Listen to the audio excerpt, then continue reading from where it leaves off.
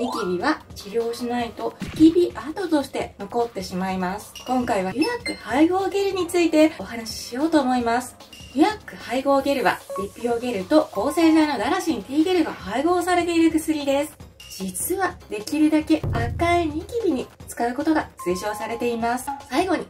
保管方法ですが、ちょっと面倒なのですが、油薬はの保管が推奨されている薬剤です。皆さん、こんにちは。皮膚科医の玉木ゆきです。このチャンネルは、ニキビ、ニキビ跡でお悩みな患者さんに、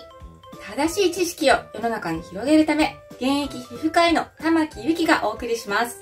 今日お話しする内容は、ニキビの患者さんによく処方される、デュアク配合ゲルについてどんな難航なのか、デュアク配合ゲルの塗り方、副作用、副作用を軽減するための具体的な塗り方について、皆さんにお話をさせていただきます。最後までご覧いただきますと、デュアク配合ゲルを使いこなせるようになると思います。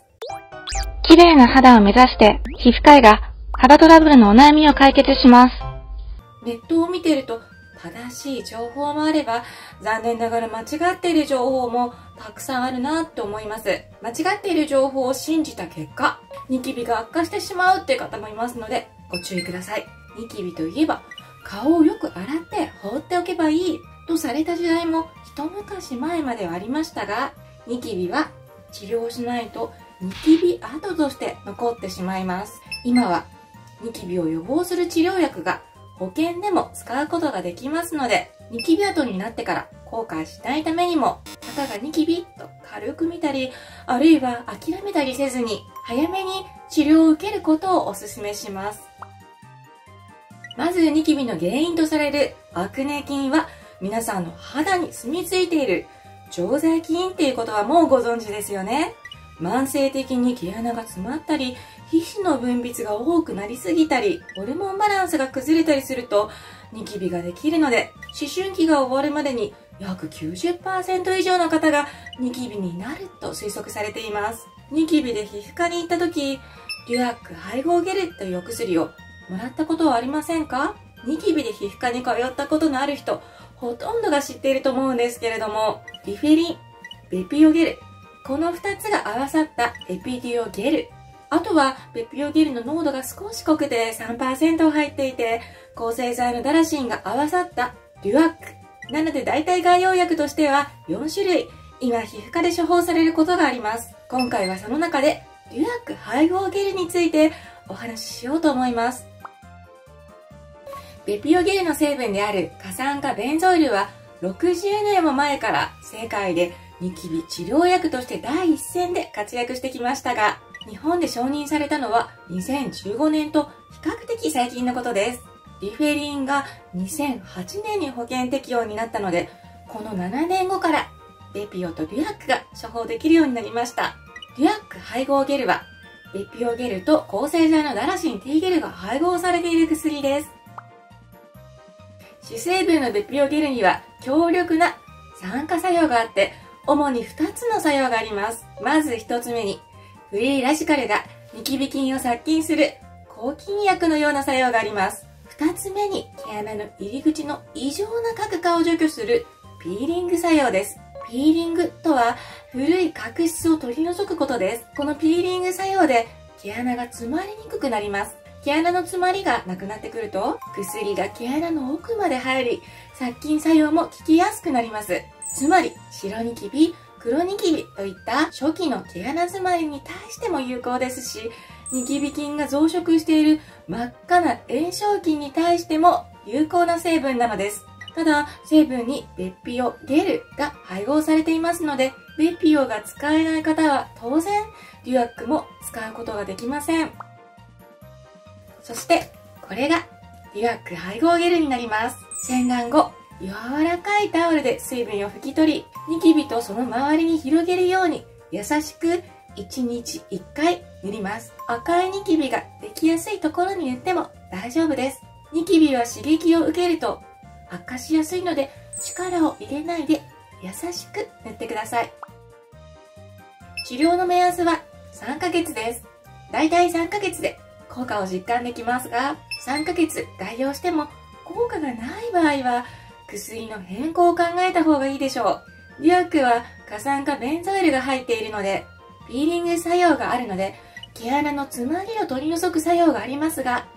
実はできるだけ赤いニキビに使うことが推奨されています。どうしてかっていうと、デュアックに配合されているクリーンなマイシンには耐性があって、赤いニキビがなくなって白ニキビだけになったのに、ずっとデュアックを使っていると、ダラシン T ゲルのクリーンなマイシンに耐性ができて、薬が効かなくなり、ニキビが治りづらくなってしまうのです。過酸化ベンゾールが一緒に入っているので、クリンダマイシン単体のダラシンよりは耐性菌はできにくくなっていますが、赤ニキビが良くなったら、デュアックではなく、ベピオゲルのみにした方がいいと思います。これはポイントなので、ぜひ押さえておいてくださいね。ニキビの治療って3ヶ月までの急性期って呼ばれる時期と3ヶ月目以降の移植という2つの時期に分けて治療するのですが、3ヶ月までの急性期っていうのは、いわゆる炎症が起こっている赤いニキビの時期ということで、積極的に抗生剤だったりだとかを使っていき、その後はリフェリン、レピオ、エピディオを使ってニキビをできにくくするという治療をしていくんですね。副作用としては、リフェリンやレピオと同じで、最初の2週間ぐらいは刺激やほてりなどが感じられます。時期によっては粉を吹いてしまうし、肌がすごくボロボロに皮膚が剥がれてきてしまうので、お化粧ができなくなってしまうんですよね。なので、途中で断念する方もいます。でも、安心してください。1ヶ月程度継続すると、症状は軽減していくことが多いとされています。ただ、火山化ベンゾールにかぶれる方は、ベピオや予約は使えません。ただ、初期の頃の刺激感と区別がつきにくいケースもありますので、違和感を感じた場合は、一度使用を控えた上で、主治医の先生に相談していただくといいかなって思います。あと、これは皮膚科医でしか判断できないことなので、ヒリヒリしたのが中止するレベルなのか、使い続けていいのか、など、使い方に関しては、皮膚科の先生と相談しながら、指示に従ってくださいね。ピーリングの副作用がすごくて、痒かったりとか、ヒリヒリしたり、痛かったりするので、続けられないっていう方も、できれば、ノンコメドジェニックの保湿クリームをたくさん塗ってから、リラックを塗るとか、肌と相談しながら塗ってみてください。あと、副作用で脱色っていうのがあって、髪の毛や洋服につくと脱色しやすくなることがあります。あと、朝洗顔するときに水だけで洗顔すると茶色いタオルが脱色されてオレンジ色になりますので、洗顔フォームを使って洗顔するか、白いタオルを使ってくださいね。最後に、保管方法ですが、ちょっと面倒なのですが、リラックは冷蔵庫での保管が推奨されている薬剤です。2度から8度の冷蔵庫の中で保存し、常温や日光の当たる場所は避けるようにしましょう。30度の湿度の中で保存した場合だと、クリーンなマンシンに変化が見られることがあるんですよ。ゲルの質感や匂い、塗り心地に異変を感じた場合は、すぐに使用を中止し、新しい製品を使うようにしてくださいね。広いニキビを放置すると、皮膚がへこんだり、赤みがずっと残ったり、簡単には治らない状態になります。そうなると、なかなか綺麗な肌には戻りません。だから、ひどくならないように、早めにケアすることをお勧めします。まだニキビ治療で抗生剤の軟膏だけしか処方されていないって方は、ぜひ、リアック配合ゲルを使ってみてください。ということで、今日はニキビの患者さんによく処方されるビオゲルとガラシン T ゲルの合剤のリアック配合ゲルについてどんな軟膏なのか、リアック配合ゲルの塗り方と副作用、副作用を軽減するための具体的な塗り方について皆さんにお話をさせていただきました。リアック配合ゲル以前処方されたけどうまく使えてなかった。すぐに塗るのやめてしまったという方はぜひ今回の動画を見てもう一回リアック配合ゲルを塗ってみようかなって思っていただけると幸いです。今回の動画が少しでも役に立ったなという方は高評価やチャンネル登録をしていただけると嬉しいです。このチャンネルには皮膚をきれいにする動画やためになる動画がたくさんありますので、ぜひご覧になってください。